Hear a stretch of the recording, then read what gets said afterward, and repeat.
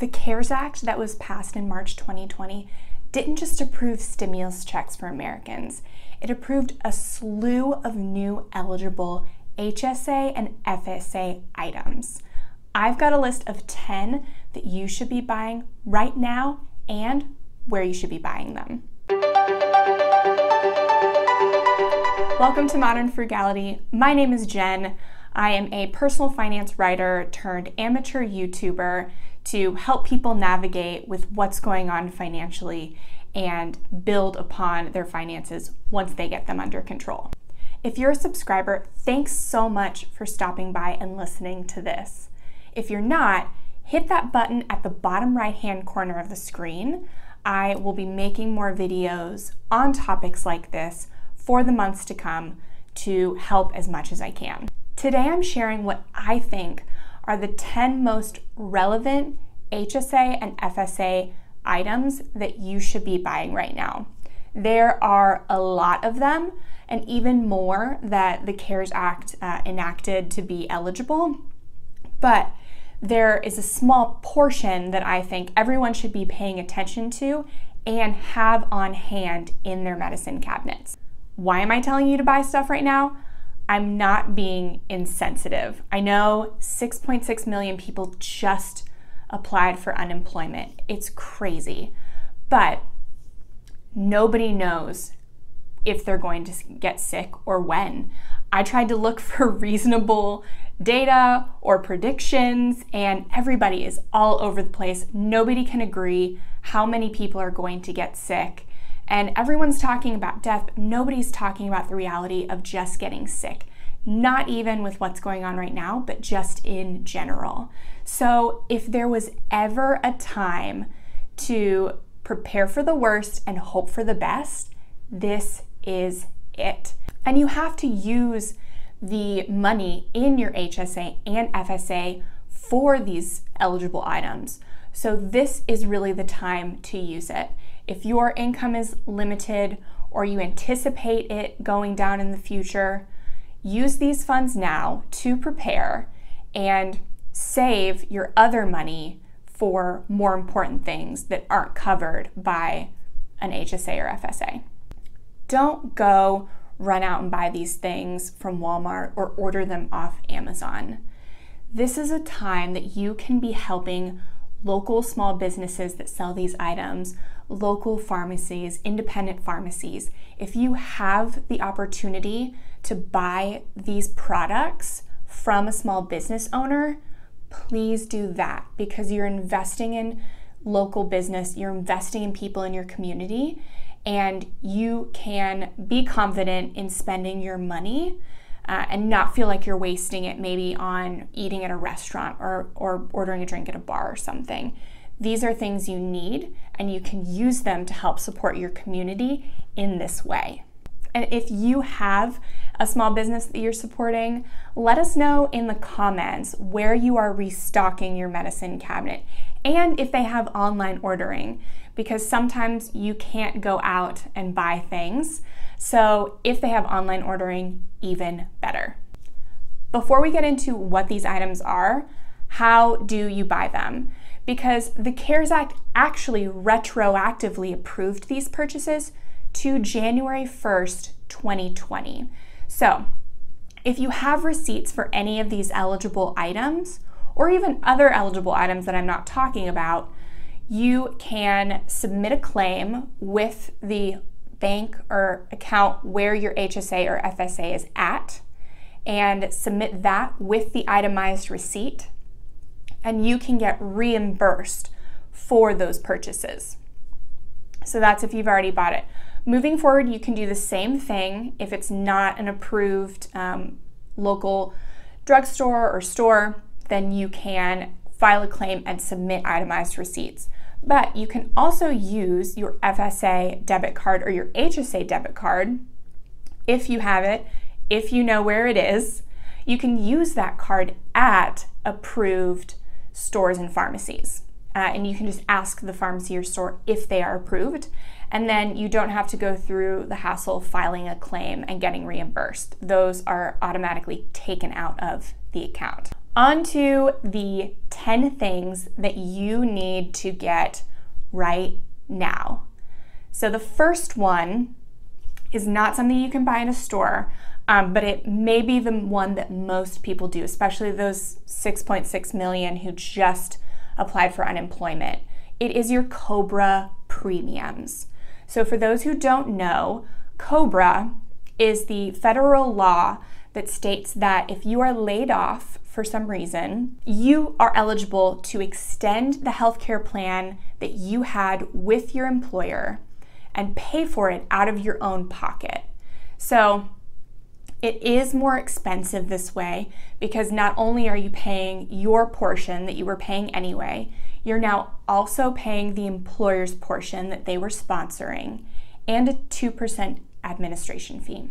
So, Cobra is not ideal, but if for some reason you need to stay on your health insurance plan, if you have a medical condition that doesn't allow you to get cheaper insurance elsewhere, then you can pay for your Cobra premiums out of your HSA. Unfortunately, this isn't the same with an FSA, but if you have an HSA, you can use the funds to pay for Cobra because it's important to point out that other health care plans, you cannot pay those premiums from your HSA. It's only your Cobra coverage. Second is aspirin, good old fashioned aspirin.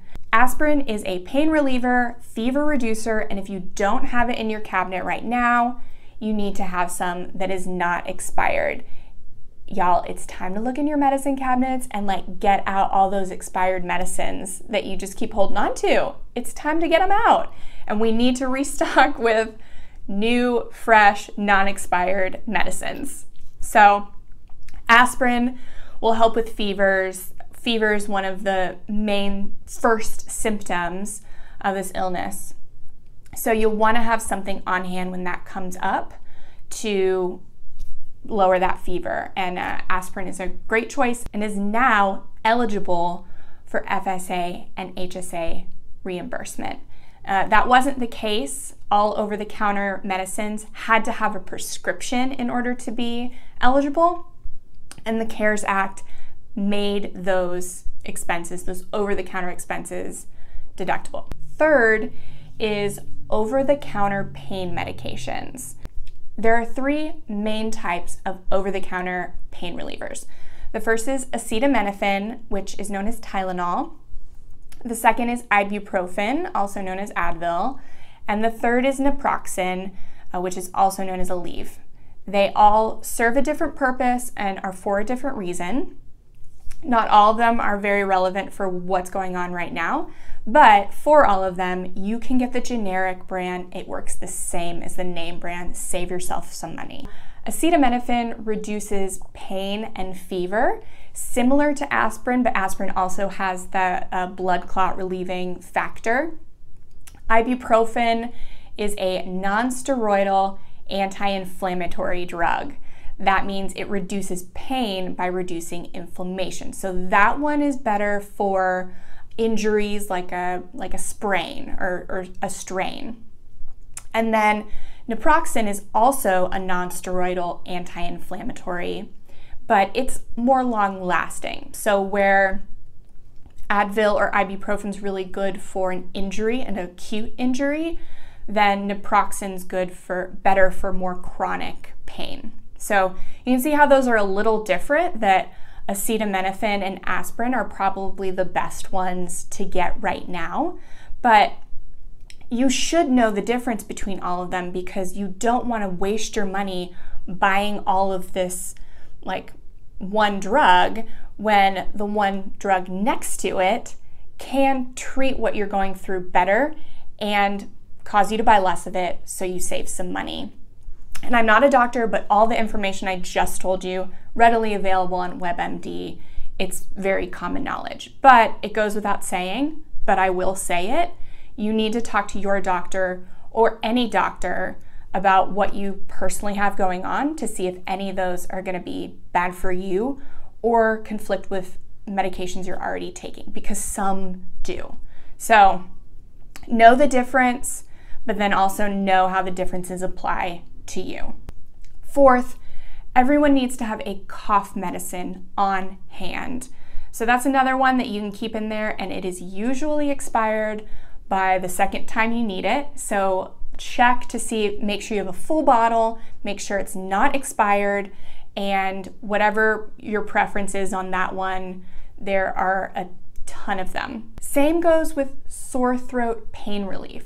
Throat lozenges, throat sprays, those are eligible for deduction from your FSA and HSA account. So make sure that you have whatever you prefer and whatever's in your medicine cabinet is not expired. Next is thermometers. So now thermometers and thermometer probe covers are eligible items. If you feel like you need probe covers, you can still get them on Amazon. Thermometers are a little harder to find, but go go where you can find them. That's not somewhere where you can be um, picky right now because a lot of places I was looking thermometers are hard to find. But in order to see what level your fever is at, to know if it's just maybe a cold sickness or something else, you need to be able to um, test your fever to see what level it's at. So definitely get yourself a thermometer and right now might be the time to get some probe covers because you definitely don't want to be spreading those germs. The safer you can be and the more disposable your items can be, the better right now. I usually don't say that. I don't love disposable items, but right now it's clutch. Seven, and this one is probably my favorite. Finally, menstrual items are now FSA and HSA eligible. It's been a long time coming, ladies. That includes tampons, pads, liners, cups, sponges, anything having to do with your menstrual cycle, and that would include over the counter medications to treat the pain. Those are now eligible. So, if you have bought anything this year, if you have the itemized receipt, definitely submit a claim for those and to make it easy, you can stock up for what you will need for the year right now using your HSA funds. That way, you don't have to worry about it later when you're worrying about so many other things. Just when you're putting it in order now, get everything else at the same time, take more stress off of your plate. And ladies, get those items taken care of. This has been a long time coming.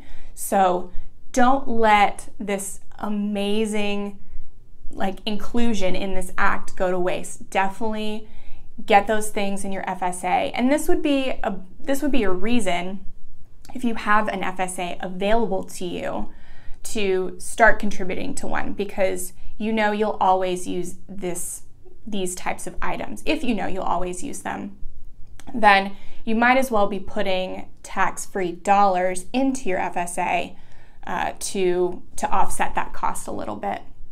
I, I'll post a link in the description talking about why HSAs and FSAs are so important. I didn't mention that before, but if you have one, I mean, it doesn't matter why they're important to contribute to right now.